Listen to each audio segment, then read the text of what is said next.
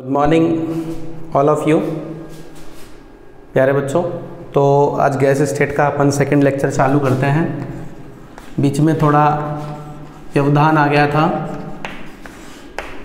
क्योंकि जो अपने ऑपरेटर सर हैं पीयूसी वो बीमार हो गए थे। कई समस्याएँ आती हैं जब कोई नया काम चालू करते हैं। तो हालाँकि बेहतर प्रयास किया जाएगा, सब कुछ अच्छा करने की कोशिश की जाएगी। देखते हैं क्या रहता है, क्या नहीं रहता है। तो आप दोनों थोड़ा ध्यान से सुनिए।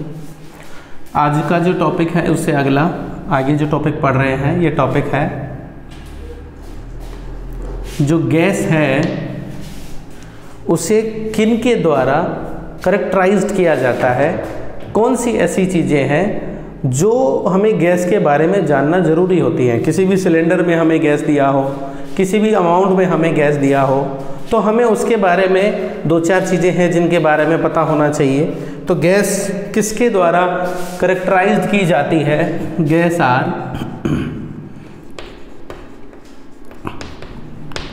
करेक्टराइज्ड बाय किसके द्वारा करेक्टराइज की जाती है? मेनली चार थिंग वो सारी चीज़ें हैं, लेकिन जो मेनली हैं वो बारे में फ़िज़िकल के पॉइंट ऑफ़ व्यू से। जो पहली चीज़ है, वो अमाउंट हमें पता होना चाहिए गैस का। दूसरी चीज़ है, उस गैस का मुझे टेम्परेचर पता होना चाहिए। तीसरी जो चीज़ है, उस गैस का मुझे वॉल्यूम पता होना चाहिए। जो चौथी चीज़ है, उस गैस का मुझे प्रेशर पता होना चाहिए। इसको मैं बोलूँगा मात्रा, इसको मैं बोलूँगा ताप, इसे मैं बोलूँगा आयतन, और इसे मैं बोलूँगा दाम तो आप एक एक को हम उठाएँगे और उनके बारे में बेसिक जानकारी हमें पता होनी चाहिए।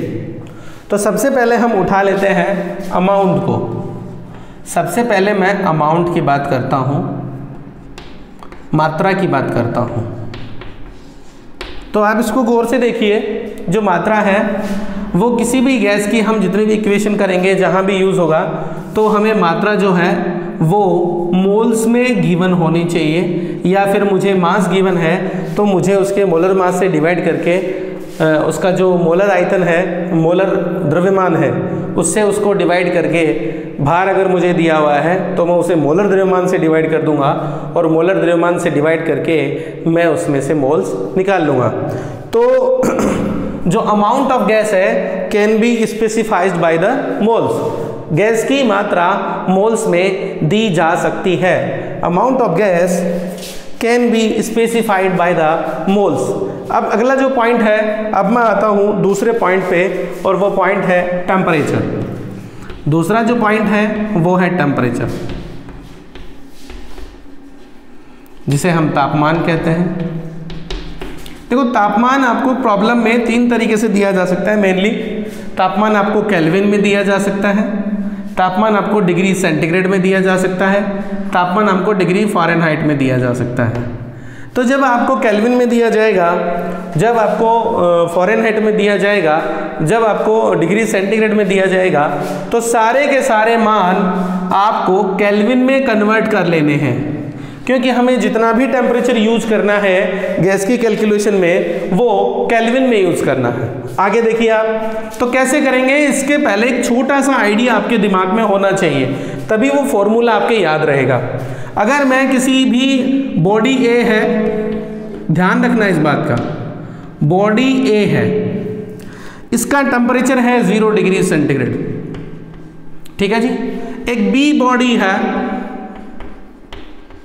इसका जो टेम्परेचर है, वो है 100 डिग्री सेंटीग्रेड तो आप एक बात ध्यान रखना कि इस ए बॉडी का और इस बी बॉडी का केल्विन में टेम्परेचर होगा 273 केल्विन ज़ीरो डिग्री सेंटीग्रेड पे, और यहाँ पर उसमें 100 जोड़ देंगे, और यहाँ पर होगा 373 केल्विन ठीक है जी? उसके बाद में फॉरेन हाइट में अगर मैं बात करूँ तो फॉरेन हाइट में ज़ीरो डिग्री सेंटीग्रेड पर जो टेम्परेचर होगा, वो होगा 32 डिग्री फॉरेन हाइट ठीक है जी? कितना होगा? 32 डिग्री फॉरेन हाइट और यहाँ पर कितना होगा?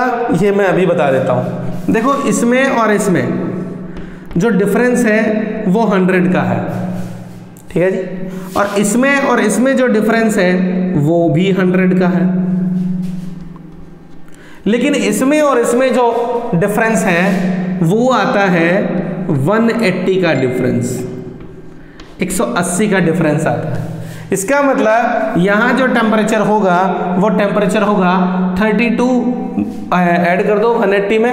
180 में अगर मैं 32 ऐड करता हूँ तो ये आ जाएगा ट्वेंटी ऐड किया पहले तो 200 हो गया। 200 में फिर 12 ऐड किया तो 212 डिग्री फॉरेनहाइट। ठीक है जी? तो ये होगा। इसके बाद आप देखिए, अगर मैं यहाँ फॉर्मूला इनमें इंटर रिलेशन प्लॉट करता हूँ, थोड़ा आइडिया आप रखना, यहाँ इंपॉर्टेंट चीज़ ये है। स्टार्टिंग पॉइंट और चेंज। यहाँ इंपॉर्टेंट पॉइंट ये है। इंपॉर्टेंट जो डेटा है वो ये है। तो इसमें जो इंटर रिलेशन आएगा, वो इंटर रिलेशन देखो कैसे आएगा? कि हमने ज़ीरो से स्टार्ट किया और हंड्रेड तक गए। तो हंड्रेड का चेंज आया। हमने फिर 273 से स्टार्ट किया 373 तक गए। तो 100 का चेंज आया। लेकिन फॉरेन हाइट में 180 का चेंज आया। 180 का मतलब जब 273 था, तब तो ये 32 फॉरेन हाइट था। और जब ये 373 हो गया तो ये 212 डिग्री सेंटीग्रेड हो गया। तो इसमें ये थोड़ा सा मैथ है, लेकिन उसमें मैथमेटिक्स में हम नहीं जाएँगे। तो इस फॉर्मूले को आप कैसे याद रख सकते हो? इंटरलेशन जो है, कि डिग्री सेंटीग्रेड में जो भी आपको टेम्परेचर दिया हुआ हो टी डिग्री सेंटीग्रेड में आप उसमें से ज़ीरो डिग्री सेंटीग्रेड माइनस कर देंगे और उसे हंड्रेड से डिवाइड कर देंगे। ठीक है जी? मतलब ज़ीरो निकालना मतलब कुछ नहीं निकालना, आपको टी डी सेंटर में रखना है। उसके बाद में आपको कैलविन में कन्वर्ट करना है। तो कैलविन में आप क्या करेंगे? जो भी आपको टेम्परेचर कैलविन में दिया हुआ है उसमें से आप 273 माइनस करेंगे और आप 100 से डिवाइड कर देंगे। समझ में आ रहा होगा कौन सा डेटा ले रहा हूँ? उसके बाद में आप क्या करेंगे? फॉरन हाइट में जो भी टेम्परेचर आपको दिया हुआ है, उसमें से 32 माइनस करेंगे और उसे 180 से डिवाइड कर देंगे। ये आपको टेम्परेचर में इंटरचेंज करना है और आपको लास्ट में जो भी टेम्परेचर दिया हुआ है, उसको कैलविन में कन्वर्ट करना है। ज़्यादा डीप में नहीं जाएँगे प्रॉब्लम में इतना काम चल जाएगा तुम्हारा। उसके बाद नंबर तीन आता है। ये भी विशेष ध्यान देने वाली बात है। नंबर तीन आता है आपका वॉल्यूम यहाँ थोड़ा सा स्टूडेंट बोल्ड हो जाता है थोड़ा सा प्रॉब्लम में पजल्ड हो जाता है तो इससे पैनिक बिल्कुल नहीं होना है। इसको ध्यान से देखो, आपसे इजी गोइंग हो जाएगा। बस आप सबसे पहले दो चीज़ याद करके रखिए कि एक डेसीमीटर क्यूब बराबर होता है एक लीटर और एक सेंटीमीटर क्यूब बराबर होता है एक एम ये आप एमटीआर रिलेशन थोड़ा ध्यान में रखें। ठीक है जी? अब देखिए वॉल्यूम को हम किस किसमें रिप्रेजेंट कर सकते हैं? वॉल्यूम को हम एमएल में रिप्रेजेंट कर सकते हैं वॉल्यूम को हम लीटर में रिप्रेजेंट कर सकते हैं वॉल्यूम को हम सेंटीमीटर क्यूब में रिप्रेजेंट कर सकते हैं वॉल्यूम को हम मीटर क्यूब में रिप्रेजेंट कर सकते हैं वॉल्यूम को हम मिली मीटर क्यूब में रिप्रेजेंट कर सकते हैं, ये सारी चीज़ें। तो हम उनको स्टेप बाय स्टेप लिखेंगे, हम इसको लीटर में कन्वर्ट कर सकते हैं। हम इसको एम में कन्वर्ट कर सकते हैं, हम इसको सेंटीमीटर में कन्वर्ट कर सकते हैं, हम इसको मिलीमीटर में कन्वर्ट कर सकते हैं, और सॉरी सेंटीमीटर क्यूब में, ठीक है जी?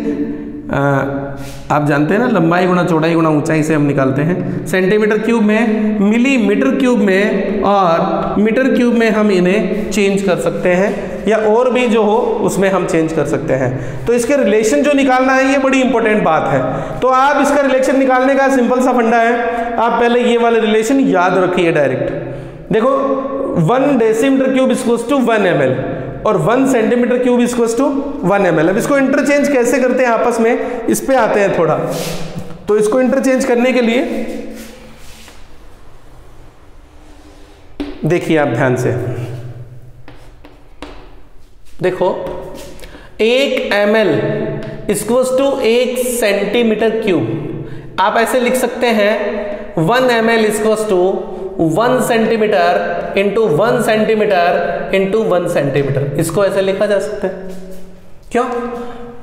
अब आप क्या सोचते हैं कि मुझे इसे वन सेंटीमीटर क्यूब में और लीटर में रिलेशन देना है? तो मैं पहला रिलेशन लेके आता हूँ, देखो कैसे। मैंने सोच लिया कि मैं litre versus centimetre cube relation लेके आता हूँ। तो आप क्या करेंगे? याद रखने की ज़रूरत नहीं है। याद रखने से दिमाग में बोझ बढ़ता है पजल्ट हो जाता है। तो आप क्या करेंगे? सबसे पहले एक एमएल को आप लीटर में कन्वर्ट करिए। तो लीटर में कन्वर्ट करने के लिए टेन द पावर माइनस तीन लीटर सिंपल सी बात है। क्यों? क्योंकि एक लीटर में एक हज़ार एम होता है। वन थाउज़ेंड एम होता है। तो इसको ध्यान से देखते रहिए आप। Ten the power minus three litre equals to एक एम एल इक्वस टू लिख दिया मैंने। One centimetre into one centimetre into one centimetre तो यहाँ से आ गया one centimetre cube equals to one ten the power minus three litre या मैं इसे ऐसे भी लिख सकता हूँ one litre equals to ten the power minus three centimetre cube simple सी बात है। अगला रिलेशन अगर मुझे चाहिए, देखो ध्यान से, एक मीटर में दस डेसीमीटर होता है, या फिर मैं ऐसे लिख सकता हूँ, एक डेसीमीटर में दस की घात माइनस एक मीटर होता है। सिमिलरली सौ सेंटीमीटर में एक मीटर होता है। सौ सेंटीमीटर में एक मीटर होता है, या फिर मैं सॉरी या फिर मैं ऐसे करूँ, देखो मैं क्या कर सकता हूँ, या फिर मैं ऐसे करूँ,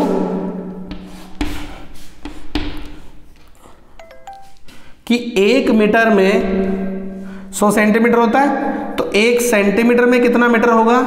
टेन द पावर माइनस दो मीटर होगा। क्यों जी? अब आप देखते जाओ, एक मीटर में एक हज़ार एम एम होता है, मिलीमीटर। या फिर मैं बोलूँ, एक मिलीमीटर में ten the power minus three metre होता है। ये सिंपल सी ये एक्चुअली ज़्यादा ज़रूरत नहीं है, लेकिन ये उन बच्चों के लिए ज़रूरी है, जिनका बेसिक बहुत कमज़ोर है, उसके लिए ये ज़्यादा ज़रूरी है। तो ध्यान से देखते जाओ आप। तो अब मैं इंटरचेंज करता हूँ। आप रिलेशन निकाल सकते हैं। पहला रिलेशन मैंने दिया लीटर और सेंटीमीटर क्यूब के बीच में। अगला रिलेशन देखो, मैं इधर लेके आता हूँ। आप बनाते रहना कॉपी में। अब रिलेशन जो मैं लेके आ रहा हूँ, वो मैं लेके आ रहा हूँ लीटर वर्सेस मिलीमीटर क्यूब ठीक है जी? तो देखो कैसे लाएँगे। सबसे पहले मैं लिखूं एक एम एल देखो, तरीके और भी बहुत सारे हो सकते हैं। ये सिंपल तरीका है। एवरेज बच्चा आराम से कर लेगा। एक एम एल इसको टू वन सेंटीमीटर क्यूब सबसे बड़ी बात। अब आप ये देखिए कि इसको तो मैं डायरेक्ट लिख दूँ ten the power minus three litre?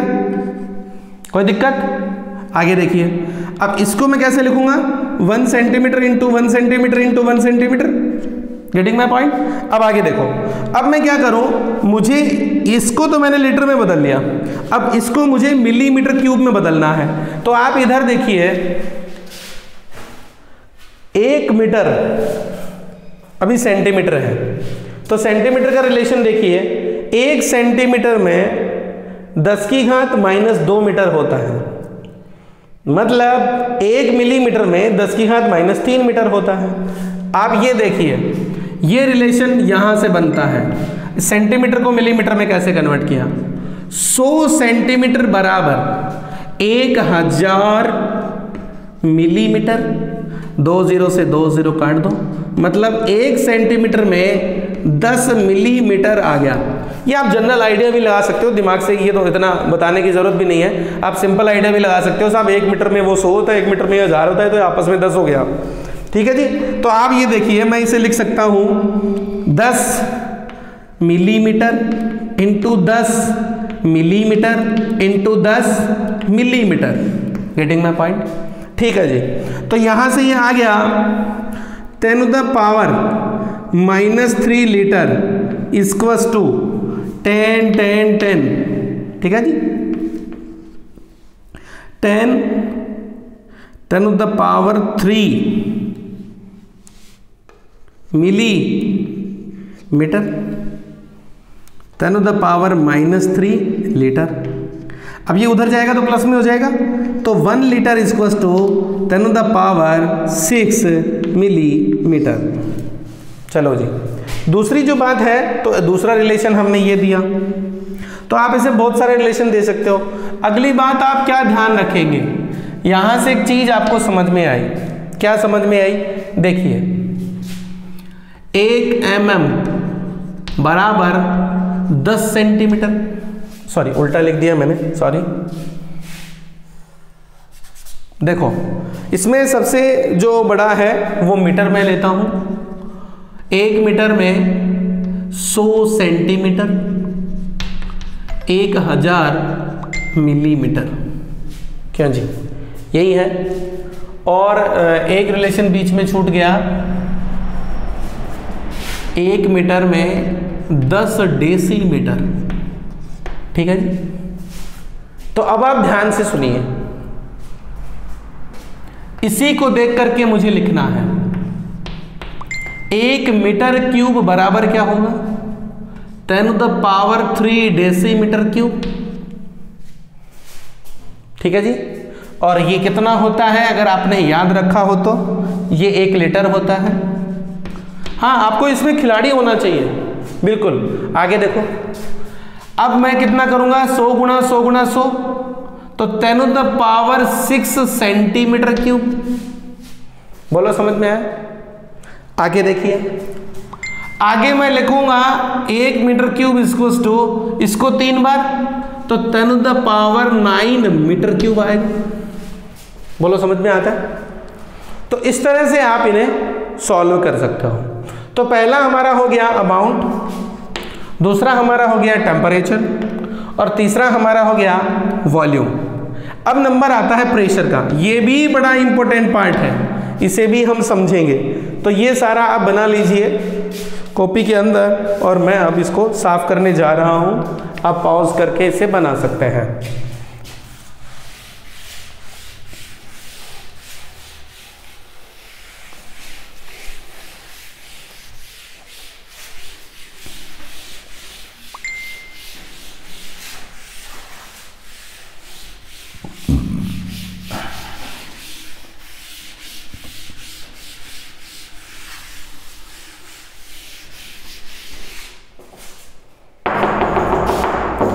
Pressure की जब मैं बात करूँगा तो इसमें हम दो चीज़ देखेंगे कि इसकी जो एम यूनिट है, जो सी यूनिट है प्रेशर क्या होता है, सब इसकी बात करेंगे।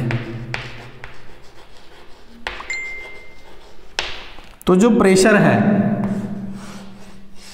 ध्यान से सुनिए प्रेशर को मैं कहूँगा यूनिट एरिया में लगने वाला फोर्स प्रेशर क्या होता है? यूनिट एरिया में लगने वाला फोर्स मतलब इकाई क्षेत्रफल पर जो दाब लगता है सॉरी जो बल लगता है, उसे दाब कहते हैं। तो इसको समझो आप ध्यान से। क्या समझेंगे? दाब हो गया। इसकी जो एम यूनिट है और जो सीजीएस यूनिट है अगर मैं एम यूनिट की बात करूँ तो होगी newton for force for newton और area for metre square. Area क्षेत्रफल? एरिया को हम क्षेत्रफल देख रहे हैं, लंबाई गुणा चौड़ाई, और ये है बल, फोर्स। ठीक है जी? तो न्यूटन प्रति मीटर स्क्वायर हो गया। इसको हम केमिस्ट्री में पास्कल टर्म यूज़ करते हैं। पास्कल, जिसे हम शॉर्ट में पी ए से दिखाएँगे तो न्यूटन पर मीटर स्क्वायर को हम पास्कल से डिनोट करेंगे और सीजीएस में आप जानते हैं इसे कैसे कन्वर्ट करना है। तो न्यूटन फॉर डाइन हो गया। डाइन पर सेंटीमीटर स्क्वायर। ये चीज़ें हो गई। तो ये इसका एम यूनिट हो गया, ये सी यूनिट हो गया। दाब के बारे में आगे बात करते हैं। देखो, दाब जो है आपके ऊपर पूरी बॉडी पे टेम्प दाब लग रहा है प्रेशर लग रहा है, ये जो एटमॉस्फियर है, ये प्रेशर लगा रहा है। लेकिन हमें फील क्यों नहीं हो रहा? फील इसलिए नहीं हो रहा क्योंकि हमारे अंदर ज़्यादा प्रेशर है। अंदर से जो आउटर बाहर की जो, जैसे मान लो कोई पिस्टन है, उस पिस्टन के ऊपर इंटरनल प्रेशर लग रहा हो और एक्सटर्नल प्रेशर कम हो। एक्सटर्नल प्रेशर और पी इंटरनल तो पी इंटरनल ज़्यादा हो तो यही तो डोमिनेंट होगा? ये तो फील होगा ही नहीं, क्योंकि नेट जो दाब है वो बाहर की ओर आएगा। इस वजह से अब आगे बढ़ते हैं। देखिए ध्यान से। तो ये न्यूटन पर मीटर स्क्वायर हो गया और ये हो गया डाइन पर सेंटीमीटर स्क्वायर। अब आगे देखो, दाब की क्या क्या बातें हैं? तो दाब को हम एटमॉस्फेयर के रूप में भी मेजर करते हैं। मतलब एक एटमॉस्फेयर अगर जैसे खुला पात्र है तो एटीएम एटमॉस्फेयर उस पर कितना दाब लगाता है, कितना प्रेशर लगाता है, मैं उसे वन एटीएम कहता हूँ। और इसको मेजर करने के बहुत सारे तरीके होंगे। उसके आधार पर इसकी यूनिट बनी हुई है। ये बड़ी इंपॉर्टेंट बात है। इसको समझना आप। दाब को कैसे कैसे मेजर किया जा सकता है, उसको मेजर करने के लिए बहुत सारे तरीके बने हुए हैं। उन तरीकों के आधार पर उसकी यूनिट्स हैं। तो पहला तरीका मैंने बताया कि दाब को एटमॉस्फेयर के रूप में नापा जाता है। तो एटमॉस्फेयर जितना दाब डालता है, जितना, अब देखो यूनिट एरिया बोला है। यूनिट एरिया मतलब प्रेशर में यूनिट एरिया अगर आ गया है फोर्स अगर लग रहा है तो वहाँ उसका एरिया का मतलब नहीं है। एरिया का इंपोर्टेंस खत्म हो गई। तो आप ये देखिए, एक एटीएम जो वातावरण जितना दाब लगाता है, इसको हम कैसे कैसे नाप सकते हैं? 76 सेंटीमीटर ऑफ़ एच जी अब, अभी आप याद कर लो, ये कैसे आता है? ये दो मिनट का काम है। ये हम बता देंगे। दूसरा, इसको सेंटीमीटर को अगर मिलीमीटर में कन्वर्ट करें तो 760 M M of H G एक और होता है 760 टॉर के रूप में भी आप इसे नाप सकते हैं। एक और होता है एक ए टी एम इसको to one point zero one three two five. Into ten on the power five newton पर मीटर स्क्वायर। या फिर मैं इसे पास्कल भी बोल सकता हूँ। गेटिंग माई पॉइंट इसे और कैसे लिखा जा सकता है? मैं इसे ऐसे भी लिख सकता हूँ। One zero one point three two five. One zero one point three two five into देखिए, मैंने यहाँ से कितने दस चुराए हैं? वन और टू तो ये कितना हो गया? Ten of the power three ten of the power three pascal ये मैंने इसलिए लिखा, वो देखिए, आप समझ जाएँगे। अगर मैं इसे किलो पास्कल में कन्वर्ट करूँ तो 1000 से डिवाइड करूँगा तो मैं लिख सकता हूँ 101.325 किलो पास्कल एक और बार होता है। वन जी, one point zero one, three two five bar. Bar आपने, हमने कहा सुना था? बार हमने सुना था कि एन e में जब S T P N T लेता है तो वहाँ पर जो प्रेशर लेता है, वन ए की जगह वन बार लेता है। ये वहाँ पर था। हालाँकि हम वहाँ आगे जाके वन ए ही उसको मान लेते हैं। तो ये सारा इसका कन्वर्जन था। अब इसमें जो है, अब क्वेश्चन आएगा। आपको कन्वर्ट करना है। थोड़ा मैं हिंट दे देता हूँ, कैसे कन्वर्ट होगा कि फला को एक एटीएम में कन्वर्ट करना है। तो क्वेश्चन लिखो। क्वेश्चन लिखिए। क्वेश्चन है convert into ATM the given pressure तो जो प्रेशर आपको गिवन है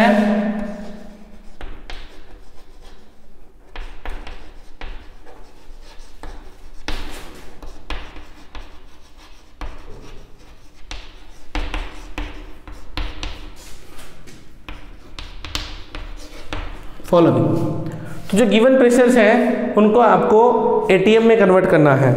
पहला सवाल है 190 ninety M M of H G one ninety M M of H G तो एम एम में मुझे ये वाला डेटा दिया हुआ है। तो मैं क्या करूँगा? एटीएम में कन्वर्ट करने के लिए 190 upon 760 M M of H G नहीं होगा, अब ये ए टी एम में कन्वर्ट हो जाएगा। दूसरा जो सवाल है, ये दिया हुआ है, आपको 202.65 किलो पास्कल। 202.65 kilo pascal. तो आप देख रहे होंगे, किलो पास्कल में हमारे पास ये डाटा है। तो हम क्या करेंगे? 202.65 इसको डिवाइड कर देंगे किलो पास्कल वाले डाटा से। 101.325 तो लगभग दो एटीएम आ गया। तीसरा सवाल जो है, वो देखिए, कितने एटीएम में कितने को एटीएम में कन्वर्ट करना है? ये है अड़तीस सौ टोर। इसको हमें एटीएम में कन्वर्ट करना है। तो 3800 टोर को मैं एटीएम में कैसे कन्वर्ट करूँगा? तो ये देखो, टोर वाला रिलेशन ले आओ। 760 तो मैं इसको डिवाइड कर दूँगा। 760 टोर। 760 से तो ये एटीएम में कन्वर्ट हो जाएगा। तो हम इसको अलग से लिख देते हैं कि three eight double zero divided by seven sixty. तो वन ज़ीरो से वन ज़ीरो कट गया। आगे आप सोल्व कर दो तो ये आपका एटीएम में प्रेशर आ जाएगा। सिंपल सिंपल कैलकुलेशंस है। नंबर फोर नंबर फोर इसने दिया है 57 सेंटीमीटर हाँ जी। 57 सेंटीमीटर ऑफ़ एच जी देखो, कई बार ये भी नहीं लिखा होता, केवल 57 सेंटीमीटर लिख देगा। जैसे मान लो दाब को वो बोलेगा कि 190 नाइन्टी mm, तो आप समझ जाइए वो 190 ninety mm of H G है। ज़रूरी नहीं है कि वो 57 सेंटीमीटर ऑफ़ एचजी लिखे क्योंकि प्रेशर में सेंटीमीटर का रोल नहीं है। प्रेशर में सेंटीमीटर तो थोड़ी नाप सकते हैं प्रेशर को। प्रेशर को तो न्यूटन पर मीटर स्क्वायर है डाइन पर सेंटीमीटर स्क्वायर है। तो हमें आइडेंटिफाई कर लेना है कि अगर 57 सेंटीमीटर प्रेशर दिया है तो वो 57 सेंटीमीटर ऑफ़ एचजी है। आगे बढ़ते हैं। अब इसको मुझे एटीएम में कन्वर्ट करना है। तो 57 सेवन बाई सेवेंटी यहाँ से आप देख लीजिए। 76 से मैं डिवाइड करूँगा। भाई वन ए में जितने वैल्यू होते हैं, उन वैल्यूज़ को उससे डिवाइड कर दो। तो ए में कन्वर्ट हो जाएगी। तो यहाँ से ये थ्री बाई फोर के अप्रोक्स आ गया। और इस तरह से ये सारा सोल्व हो जाएगा। तो इस तरह से कन्वर्जन है। हालाँकि मोल कॉन्सेप्ट में हमने बहुत किए ये सारे सवाल। अच्छा मैं गैस स्टेट में वो क्वेश्चंस नहीं करवाऊँगा, जो मैंने मोल में बहुत बार बार चीख चीख के करवाए हैं। आपको कम से कम भी ढाई सौ से ऊपर क्वेश्चन करवाए मोल में। अलग अलग और एक क्वेश्चन में कम से कम 10 10 से 20 20 क्वेश्चन थे। मैंने आपको टेबल वाले क्वेश्चन करवाए हैं। मतलब अगर देखा जाए तो 1000 क्वेश्चन है मोल वाले उसमें। तो कोई दिक्कत नहीं है, वो वाले सवाल हम यहाँ नहीं करेंगे, यहाँ नई चीज़ें करेंगे। गैस में भी बहुत सारी चीज़ें हैं, अगर हम सीखें तो। तो ये आप बना लीजिए, ठीक है? ये लेक्चर नंबर टू यहाँ कंप्लीट होता है। अब लेक्चर नंबर थ्री में अगला टॉपिक आएगा। धन्यवाद।